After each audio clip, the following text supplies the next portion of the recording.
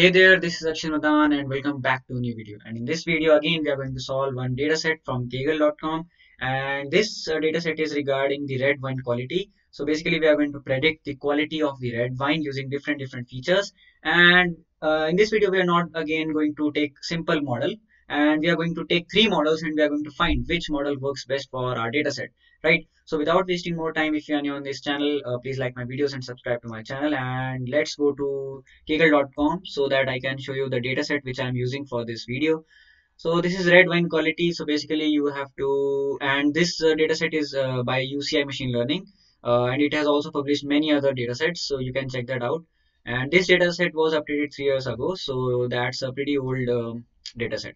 So we are going to work on it and we are going to first of all analyze and visualize our data, different different features. We are again going to see the the relationship between the features and our output that is our quality and then we are going to predict it. So we are going to take three models. Uh, let's see what are they and you can just take a glimpse of the dataset from here and now let's go to my notebook okay so as I've already told you many times, you can copy the file path that is CSV file from here and you can paste it when you need to call your data frame and you need to build your data frame, right? So first of all, I'm importing NumPy and Pandas as usual. Then I'm going to, let me change the font size. It is a little smaller, right? Now it is good. Now what I'm doing, I'm again, um, okay, I've again uh, imported pandas, no problem. Then I'm importing matplotlib and I'm a dark font, I'm a dark background lover, so I'm using a dark background. Then I'm importing Seaborn so that I can build my graphs much better way, in a much better way. Then I'm going to build my data frame. So I have called it df, that is a variable, and I've stored my whole CSV file into this using panda, using pandas, right? So pd.read CSV, that is a simple function. You can uh, write it uh, like this. Then I'm going to print a, a head part of my data frame. So I can see that there are certain features uh, fixed acidity is there, volatile acidity is there, citric acid is there, residential residual sugar is there, chlorides are there and different different. So ph is also there. And lastly we have the quality. So that is our target class. We have to predict that quality of a certain wine glass or wine feature using these features right? Then first of all i'm going to print the shape of my data set. So i'm seeing that there are around 1600 rows and 12 columns. So there are around 11 features 11 independent uh, variables you can say and one dependent. That is my quality right? Okay. Then after this i'm going to build a figure. Let me decrease the size yeah. Then what i'm doing i'm using plt.figure and giving it a figure size 12 by 6 and i'm going to use a count plot function. I'm going to see uh, which quality class that is 1 2 3 4 5 6 7 how many are there i don't know. Which quality is uh, uh, uh present in the larger number larger quantity right? So i can see that the quality with the grade 5 is present at the largest amount or the maximum amount which is around uh, 670 more than 670 uh, wine uh, or, we, or you can say that more than 670 rows belong to quality 5 right? Simple. Then after this quality 6 is there and if i say the minimum 3 3 uh, uh, class of quality is having the uh, least count right? Okay i have got a simple idea of my quality class. Then i am building a bar plot with the alcohol versus quality. So I can see that as the uh, quantity of alcohol is increasing, my quality is increasing. Or you can say if my quality is increasing, that influences that the alcohol content in that wine is more, right? As you can see, the eighth quality uh, class, that is the quality 8, is having the highest alcohol content, right? Then 7 is there, then 6 is there, then 5 is there, and like that, right? So this was simple analysis of alcohol versus quality. Then what I'm doing, I'm uh, uh, building a scatter plot uh, of pH versus citric acid, right? So what I'm doing, and this is this is generally a chemistry thing that if my pH is decreasing, that means my acidic nature of that solution is increasing, right? And if my pH is more, that means the basic nature of that solution is more. So I can see that as my pH is increasing, the citric acid is also increasing. Sorry, the citric acid is citric acid content is decreasing and my pH is decreasing. As you can see, there is a relationship. So as my citric acid is uh, around uh, 1, that means the acidic content is increasing, then my pH is decreasing, right?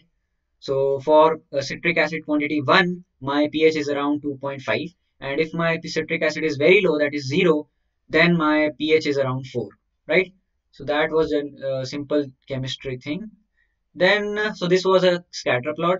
Okay, so we have visualized a little more data. Now it's time to visualize the whole complete data set and the relationship between quality and other features, right? So I have drawn a simple pair plot uh, and just given it the parameter of df. So it is going to take each feature and it is going to plot the uh, graph uh, against other features, right? So now I'm interested in quality. So let's go to quality. So here is my quality, the last thing as you can see. So first one is quality versus uh, fixed acidity, fixed acidity, right? So I can see that uh, quality of five, quality of five class is uh, having the highest number of fixed acidity that is around more than 16, around 16, right? Okay. And like this, you can see that other features are also plotted against the quality class, right? So you can just uh, visualize them like this. Each and every feature is plotted. Okay. Then what I'm doing, I'm drawing a heat map so that I can find the uh, so that I can find which uh, which other features are having a good relationship with my quality, right? So I can see that my quality is having a good relationship with alcohol. So I've already seen that as my alcohol was increasing, the quality was increasing. So it is having a good relationship. Let's say I do it annot is equal to 2. That means annotation is equal to 2. So that I can see what is the relationship number. Okay. Now I can see that fixed acidity is having 0.12 then uh, volatile acidity is having a negative relationship then citric acid 0.23 and i can see that alcohol is having a uh, very good number that is 0.48 right? And quality was uh, obvious that it is going to have one relationship with quality. Okay. So alcohol then sulfates then some more features are there. They are having a good relationship with my quality.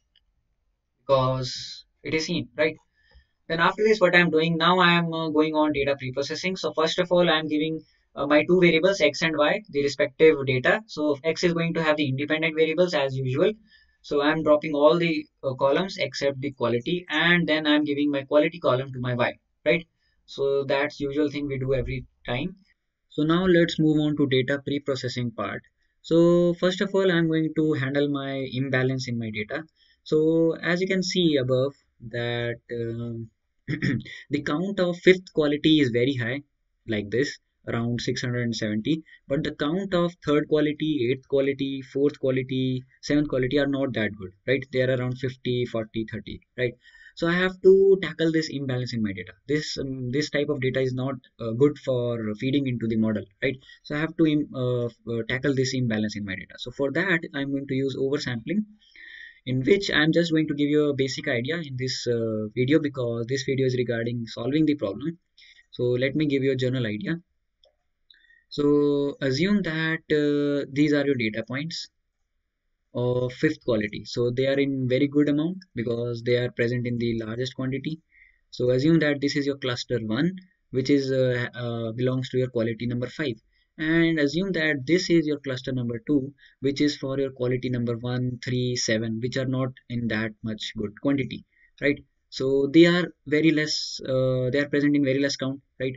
So this is your quality number 1 or 3 or 7 right so this type of thing is not uh, good for feeding into your model. So I have to tackle this out because the quantity of fifth the quality is very much high but the quality of but the quantity of 1 3 and 7 are very very less. So what i'm going to do i'm going to use this technique in which i'm going to put that same uh, data points 1 3 7 that at, at the same location only. Like i'm going to let me change the color.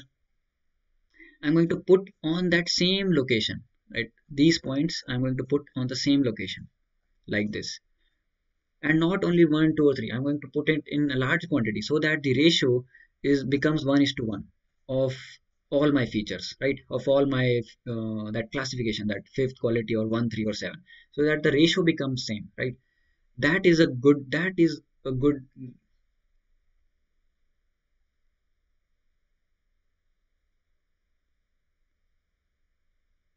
So this is the technique that we use to tackle the imbalance in your data. So this is called oversampling, right? Because I'm going to uh, increase the amount of samples which are present in low quantity, right?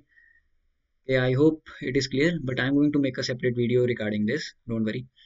then I'm going to do a very simple thing that is splitting my data into training part and testing part so as you can see I'm going I'm doing it so xres and yres are storing the uh, new values because I've used oversampling and I'm going to give this xres and yres to my train test split test size is 0.2 random split is 0 then I'm going to use standard scaler because my, I have seen that my uh, values are not uh, scaled down. I have to scale them down so that they are uh, so that they can be fit into the model nicely. So I'm going to use standard scaler from my sklearn.preprocessing I'm going to scale down the xtrain and xtest data right? Because they are the independent variables. So I have to scale them down scale them down then I'm going to import sklearn uh, dot metrics import accuracy score. Uh, I'm importing it because I want to test the accuracy of different different models on which I'm working. For that uh, now I'm coming on to model building. So first of all we are going to three, make three models logistic regression decision tree and random forest. And we are going to check their accuracies right and not only this you should not just restrict themselves on these three models which i'm teaching. You can just make uh, explore all the data sets on which you want to work on and you can test the accuracy. So what i'm going to do first of all let's check out of logistic regression. So in logistic regression they are basically used when you need to solve the classification problems. And that's the same data set we are working on. There are different different uh, uh, uh classifications right? Fifth quality one two three right? Like this so that's why I'm using logistic regression. So for that, I'm defining a separate variable. I'm storing the model. Then I'm going to fit the data, xtrain standard and ytrain. Then I'm going to predict the X test values, X test standard values. And I'm going to store all these predictions into my predictions variable. Then I'm going to find the accuracy score of my y test and predictions. Then I've seen that a very low accuracy is coming, that is around 57%. I'm not satisfied with it. So I'm going to come on to the next uh, model on which I'm working that is a decision tree classifier so here i'm seeing uh, that that same thing i've done. Define your model fit your model predict your model and find the accuracy. Same all the steps. So i've seen that 79% accuracy is coming. Okay cool cool. Then i'm going to come on random forest classifier and same thing i've done. And then i've seen that 86% accuracy is coming. So that's a very good accuracy for now so this video was for these three models only but uh, you you can work on your own notebook and just uh, explore another and uh, different and different uh, models. It's totally up to you right? So i think this much is enough for this video. So till the next content keep coding keep innovating and thanks a lot